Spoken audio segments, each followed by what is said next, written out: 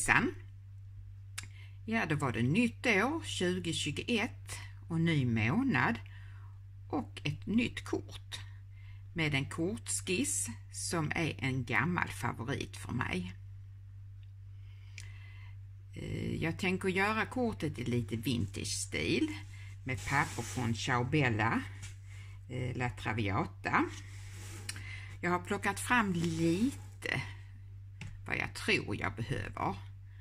Eh, jag vill gå i den här tonen, eh, beige och vitt. Och Little Birdie har trevliga blommor som man kan ha. Och sen mina vanliga, de här rosenknopparna, lite såna här Garden Greens från Tim Holtz eh, Tindits. Och så har jag plockat fram lite spets, antingen i vitt eller sån naturfärg. Sen tycker jag ju om att använda pärlsträng eller pärlband. Och här är ett i grönt och ni ska få se snart varför jag har valt ett grönt. Men jag har också valt ett vitt. Som jag kanske väljer istället för det gröna. Vi ser här om vi tar undan.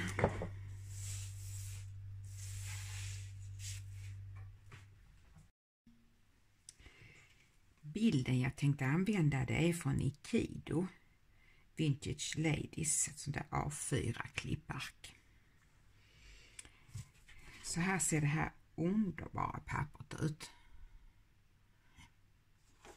Och så vänder man på det och då är det grönt. Därför valde jag det gröna pärlbandet. Så får vi se vilket det blir.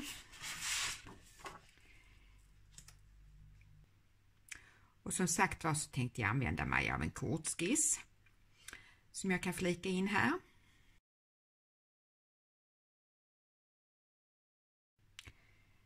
Jag har redan gjort ett kort med samma kortskiss. Så det blir något snarlikt med ett papper under och ett papper ovanpå så delat i mitten. Jag låter er lyssna på lite musik medan jag eh, gör mitt kort. Så då börjar jag.